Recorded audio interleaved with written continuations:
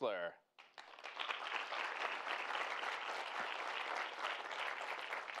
How you doing, Zachary? Good. Perfect. I'll give this to you. Have fun, all right? Okay. Hi, I'm Zachary Hessler, an eighth grader from Gifford Middle School in Florida. But I didn't always live in Florida. I was born in Colorado where it's nice and dry. So when we moved down, we installed a dehumidifier to cope with the humidity. But I play the cello, so practicing with that constantly droning in the background was a real challenge. I tried all kinds of things to quiet it down, but nothing worked. There had to be a better solution to noise pollution. We all live here. It seems quiet from this perspective, but we actually live down here, where it's crowded, busy, and noisy. Our world is getting bigger and smaller as technology and population continue to grow. We're more connected than ever before, but the commensurate level of noise has risen to an unsustainable rate, threatening communication, public health, and private comfort.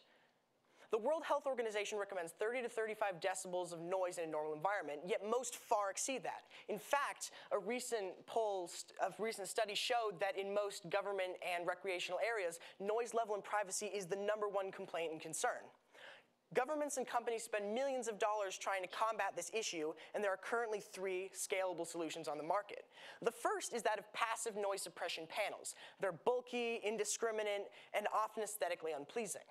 The second is that of noise canceling headphones. Although these utilize active noise cancellation, they must be worn and are often impractical in normal open air settings. Now, the third is that of broadcast open air active noise cancellation. Certain companies are focused on establishing almost zones of silence by projecting inverse waves in a limited scope. While promising, this idea does not account for what we do every day as people move around. This led me on a two year research and development journey to invent Cylence. Silence stands for Self-Contained Interactive LiDAR Emitting Noise Canceling Engine and works through the marriage of two technologies, active noise cancellation and LiDAR technology. Active noise cancellation works by finding and broadcasting the inverse of a wave being sent to the user's stereocilia and merging that wave with the original one to cancel out the noise. However, we're always moving in and out of phase, which is where LiDAR comes in. LiDAR, or light detection and ranging, is an optical technology that works by using, that's often found in autonomous vehicles that uses laser data to map distances and environments in 3D. LiDAR solves the problem of continuously detecting the dimensions of the acoustical space, as well as continuously detecting the real-time positional and movement information of the listener in that space at near the speed of light, much faster than Wi-Fi or GPS. Now, the final component of silence is the software DSP written in Python that uses known characteristics of the waveform, like period and amplitude, in conjunction with LiDAR positional data to determine precise audio offsets to keep waves in phase. The prototype included a Garmin LiDAR unit, an Arduino processor, spectral analyzer, oscilloscope, numerous Python libraries, and numerous 3M products, such as 3M sound panels, spray adhesives, command strips, and a 3M Peltor headset. Let's take a look. So in the prototype, I chose three I chose three frequencies to test, that of 400 hertz, 80 hertz, and 1000 hertz. They were then broadcast in turn from the left speaker as the offending tone as well, and then the LiDAR unit gauged the distance of the acoustical space as well as the distance of the listener from the offending tone. This information was then fed back into the algorithm through DSP. Now, the algorithm took, took known information on the waveform as well as LiDAR data to generate a precise phase offset. This inverse phase adjusted wave was then played, played out of the right speaker and changes of suppression were measured from the listener's position using a spectral analyzer. I repeated my trials over 1,800 times and concluded that while you can't cancel an entire room by adding noise or energy, you can target specific frequencies or areas to reduce decibel levels through using silence. So the next steps to improve, the, to improve this silence further would be to improve the accuracy of peripherals such as, such as the LiDAR or the microphone and to have faster on-chip DSP instead of going through a program such as Python and externally sourcing it to have everything done on-chip to for faster presentation. And then I would also focus on accommodating for complex frequencies, occlusion, reflection, and the, uh, and the recommendation of multiple listeners. Once fully developed, silence can be applied in hospitals, schools, factories, offices, and even automobiles for a fraction of the cost of usual passive noise suppression systems. It could leverage existing sound systems as well as inexpensively install installable ones. I'd like to thank Mr. M. Emslander, Dr. Fackler, 3M, and Discovery Education for all of their help on, on learning a science applied to life. And so hopefully with an improved system, I could hopefully see and save our silence.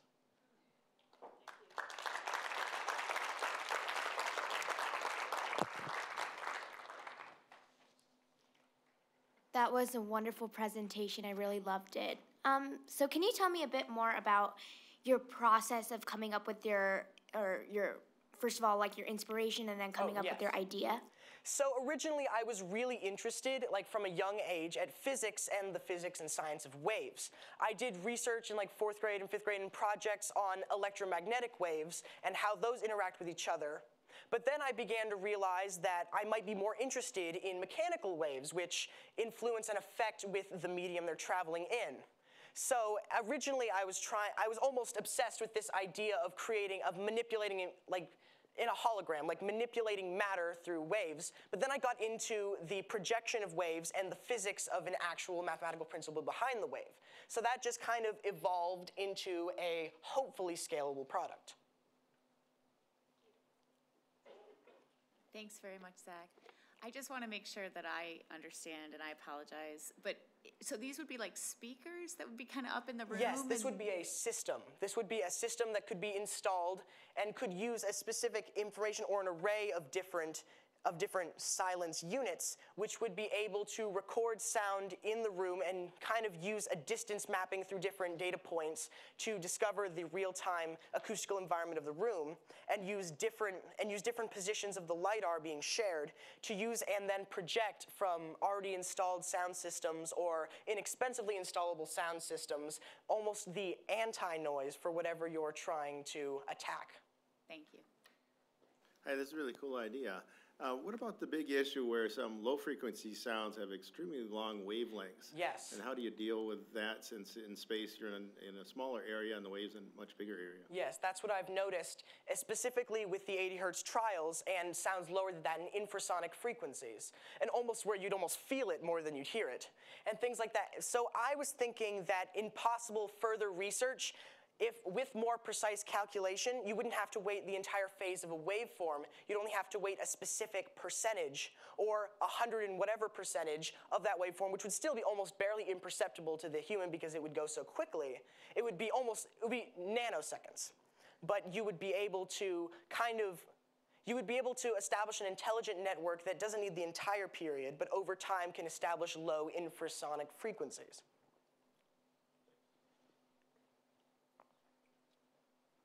So what did you learn from collaborating with your 3M mentor? My 3M mentor, Mr. Emslander, it's just, I would, this would never have been possible without him because he kind of helped me transition a scientific concept into an idea, like 3M does, science applied to life, into an idea and a scalable, possible product that could be used practically. And he also connected me to several other connections, specifically, namely Dr. Fackler, who works with 3M but doesn't necessarily work here in Minneapolis but he is an acoustical expert, an expert in like the geometry of concert halls or acoustical spaces. And he was able to give me this incredibly valuable insight on how to integrate this with passive noise reduction systems for incredibly in ultrasonic frequencies and to how those would interact in a room that's not just a square, as none rooms really are. So tell me a little bit about the, the biggest successes you've had in, in your research and design process.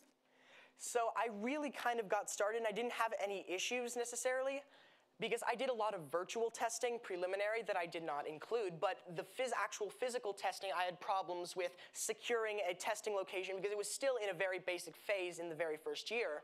It was still in a basic way where it couldn't accommodate for anything else, and I needed to occlude untestable sounds, and that would really would have been my larger problem through getting original accurate testing the first time to build an idea on. Zach, would you uh, uh, remind us of how you used uh, 3M products in your design? Oh, yes. So the 3M products helped with establishing the scientific environment and building it. So establishing with the 3M panels, which is really good, 3M sound panels are really, really good at blocking out unneeded frequencies that wouldn't be part of the experiment. the spray adhesives and commands were the only way that I was really able to get everything in a self-contained unit practically. And then the three and then 3M Peltor headset was really useful in determining and comparing my data with that of a passive, just noise muffling headset. Thank you.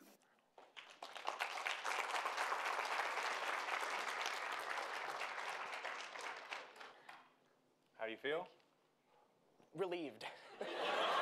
You did an awesome job. I don't know if anybody caught this, but when you were done presenting, your presentation was great. Like you turned to the judges and kind of stepped forward and like, bring it on. They were, they had their heads down. I'm like, whoo. I'm sorry. No, no, it was very good. It's very good. So you did a wonderful job. Thank you. Um, one more round of applause. You can head on out this way. Thank you, Zach. All right. So uh, it's this time of the show where I always get